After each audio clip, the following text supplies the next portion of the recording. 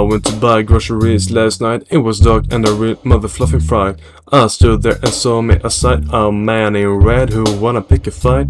I said to him, I don't want no trouble. He said to me, ain't here to struggle. He followed it up with a strange remark. Are you Larry T? I was shocked. No, no, not again, not again. No, no, no, not again, not again.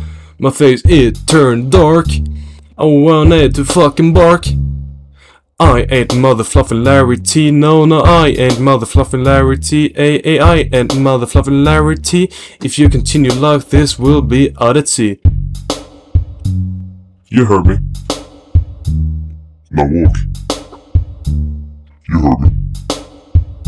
Don't you talk.